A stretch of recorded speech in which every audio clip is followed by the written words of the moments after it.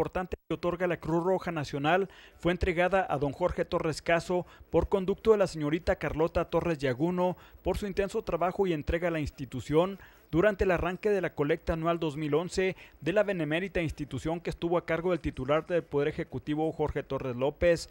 En este evento el gobernador aportó más de un millón de pesos a las delegaciones de la Cruz Roja y asistieron rectores, alcaldes, miembros del gabinete, diputados, voluntarios y directivos de las distintas delegaciones de la Cruz Roja en el estado. El delegado estatal Manuel Elizondo Garza entregó también la medalla de honor al gobernador Torres López y la medalla de plata de tres cruces a la señora Carlota Yaguno de Torres por su labor humanitaria y hubo un gran llamado a colaborar con la Cruz Roja vanguardista que da los servicios de calidad a toda nuestra comunidad,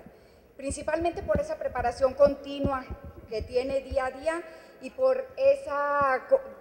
de tener esas personas comprometidas que están al servicio de la comunidad, que buscan atender y conservar el talento de todas hombres y mujeres para el servicio de la comunidad.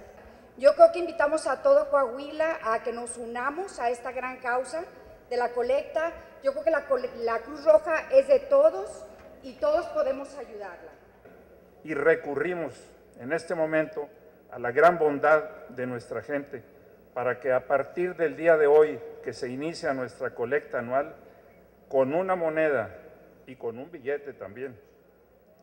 nos ayude a salvar una vida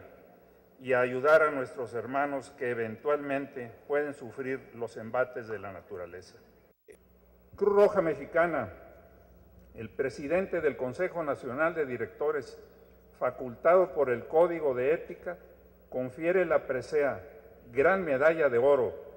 de la Orden de Honor y Mérito de la Cruz Roja Mexicana a Jorge Torres Caso. Estoy seguro que este año la colecta de Coahuila va a ser muy positiva porque todos los coahuilenses nos distingue el espíritu de solidaridad y sobre todo de colaboración para apoyo a la Cruz Roja y sobre todo a la gente que menos tiene y que más lo necesita. Para RCG informó Eduardo Sarabia.